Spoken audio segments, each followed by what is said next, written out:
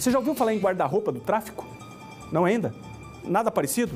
Bom, essa é a forma como a polícia classificou uma residência que estava sendo utilizada como depósito de drogas para traficantes no bairro Cajuru, em Curitiba. Veja aí, a parte mais difícil do trabalho foi descobrir que o local era usado para essa finalidade. Mas depois que os militares da Rony abordaram um homem com um tablete de maconha em frente a uma casa, foi só um pouquinho de trabalho, questão de paciência para desmontar todo esse esquema criminoso.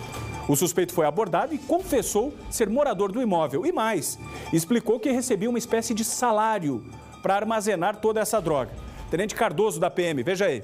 Seria um, um guarda-roupas do tráfico de entorpecentes, né? O que, que seria o guarda-roupas? O guarda-roupa seria onde, o local onde grande quantidade de droga é armazenada para distribuir para outros traficantes que daí sim vão fazer a, a venda para o usuário final, né? Então, de posse das informações, a gente foi até o local, realizou uma primeira abordagem do indivíduo que estava na, na frente da residência, né? É, com ele já foi localizado dois tabletes de, da droga maconha e uma, e uma mochila, uma bolsa.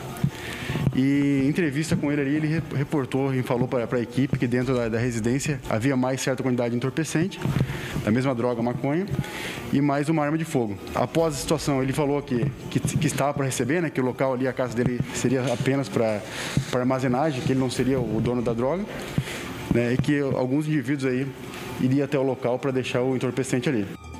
A polícia encontrou mais duas pessoas depois, durante uma campana que estava sendo feita.